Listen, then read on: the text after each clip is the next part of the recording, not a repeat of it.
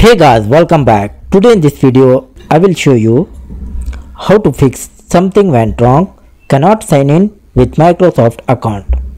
So for this guys, first method, use the correct account. And the second method, go to your Windows settings.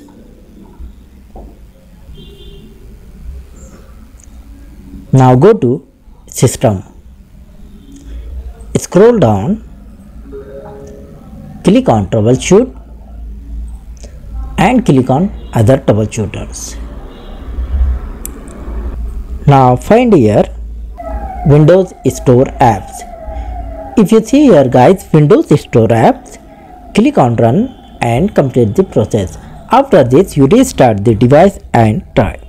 The third method update your office. So for this guys open the microsoft store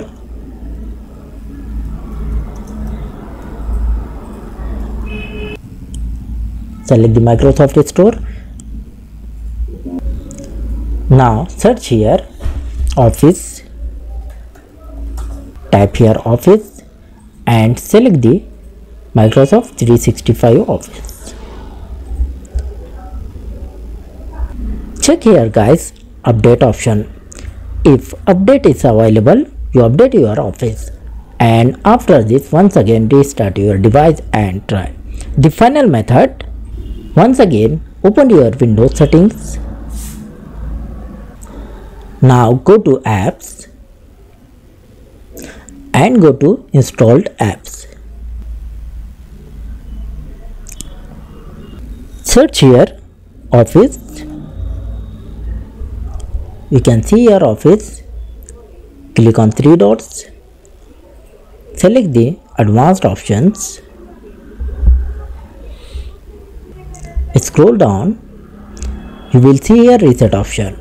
If this app is not working right we can try to repair it. The app's data will not be affected. Click on repair and after this restart the device. And it will not work. Once again go to this format.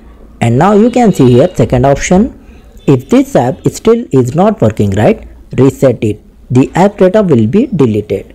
Read the carefully and after this click on reset and select the result.